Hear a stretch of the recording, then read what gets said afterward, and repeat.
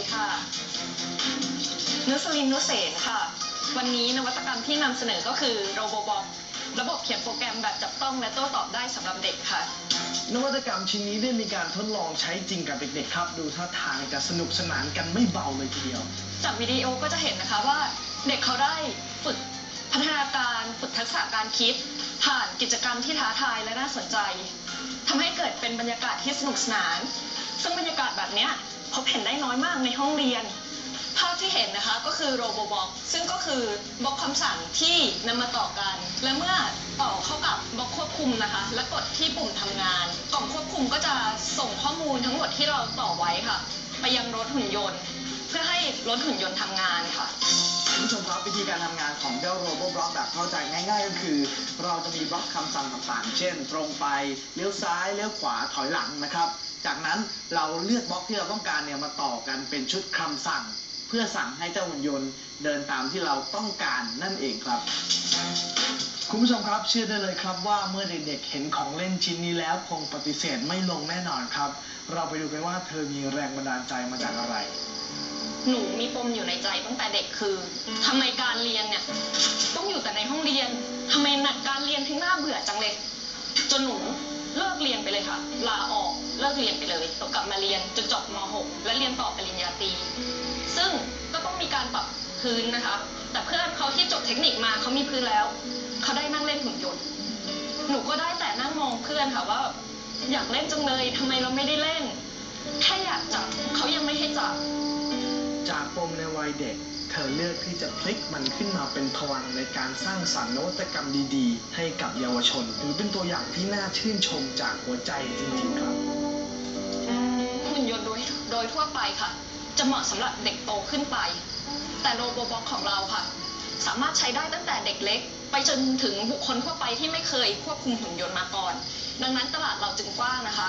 และสิ่งสำคัญที่สุดไม่เคยมีในตลาดโลกค่ะ โจทย์ความเป็นนวัตกรรมจริง ๆ ครับ ทั้งใหม่มีประโยชน์ และสามารถต่อยอดได้จริงทางเชิงพาณิชย์ มีคำพูดหนึ่งนะคะ ที่ดิฉันจำอยู่ในใจเสมอมาคือ คิดเป็นทำเป็นฝึกฝนจนติดนิสัยใฝ่เรียนรู้ไปจนตลอดชีวิต โดยคุณพารนอิสระเสนาในอยุธยาโรโบบ็อกนวัตกรรมเพื่อการเรียนรู้สำหรับเด็กไทย โดยคนไทยค่ะ ดีใจเลยนะครับที่ในอนาคตอันใกล้จะมีโอกาสได้สัมผัสกับเจ้าโรบอทบล็อก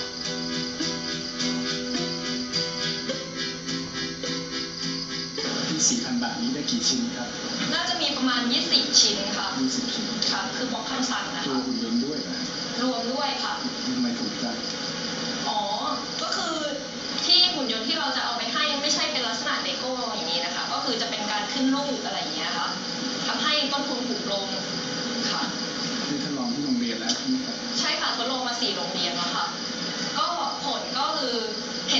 เด็กๆก็ชอบชอบมากแบบอยากให้โรงเรียนมีอย่างนี้บ้าง พอเอาไปตั้งให้เด็กถาม อะไรเหรอพี่เนี่ยหุ่นยนต์เหรออยากเล่นบ้างใครไม่ได้เล่นก็บอกขอเล่นหน่อยนะอะไรอย่างเงี้ยค่ะคุณผู้ชมครับแววตาของนุสรินดูเปี่ยมไปด้วยความสุข เวลาที่เธอพูดถึงเด็กๆ และนี่คือรอยยิ้มครั้งแรกของเธอในวันนี้ครับคือผมกำลังคิดว่าถ้าคุณจะทำจริงๆเนี่ยคุณทำซอฟต์แวร์ขึ้นมาตัวหนึ่งแล้วทำชุดคำสั่ง จะทำอะไรก็ได้เป็นชุดคำสั่งเต็มไปหมดเลยนะแนะนำนะฮะค่ะแล้วคุณก็มีสติ๊กเกอร์ให้เด็กอะเขาอยากจะใช้คำสั่งอะไรแล้วกล่องนี้ก็เป็นกล่อง blank เลยฮะแล้วเขาก็มีหน้าที่แค่เอาไอ้ตัวเนี้ยเสียบเข้าไป USB พอร์ตแล้วคุณก็อัปโหลดโปรแกรมใส่เข้าไปแล้วก็สติ๊กเกอร์แปะว่ากล่องนี้คืออะไร เด็กก็ได้เริ่มตั้งแต่ต้นทางไม่ต้องทำอะไรเลยคลิกอย่างเดียว ไม่ต้องเขียนโปรแกรม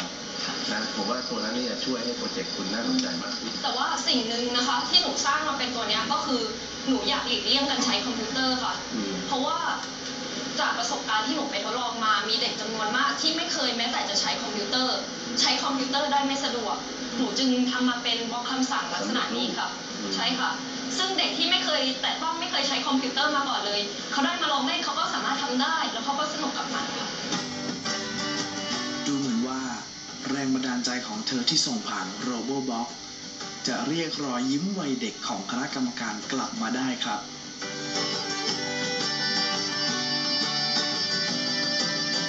นูรู้สึกภูมิใจค่ะ สิ่งที่หนูภูมิใจไม่ใช่ที่ว่าผ่านหรือไม่ผ่าน แต่ภูมิใจที่คณะกรรมการทุกคนเห็นคุณค่าของผลงานของหนูค่ะ นวัตกรคนต่อมาจากจังหวัดขอนแก่นครับ